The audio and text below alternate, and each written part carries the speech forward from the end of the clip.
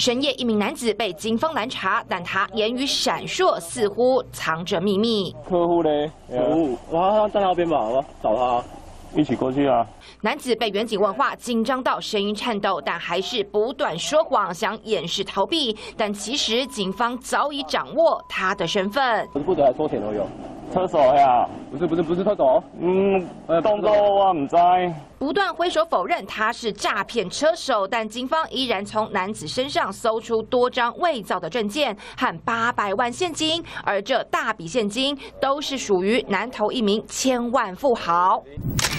整叠的千元大钞堆叠成一座座小山。南投一名身价超过四千万的廖姓富豪，因为听信了网络投资诈骗，现金两千九百四十九万，外加价值约一千两百四十万的黄金，总数超过四千万身家，在两个月内全被榨光。做农这样对。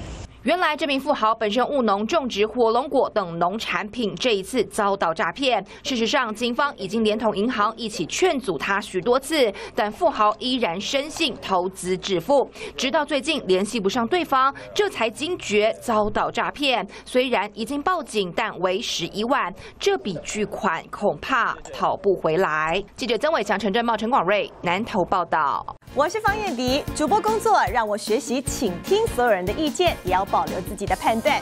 也许我们无法踏遍所有土地，但能从新闻里看尽每一道风景。我是方艳迪，请您锁定中视 YouTube 频道，记得要按赞、订阅、分享，开启小铃铛哦。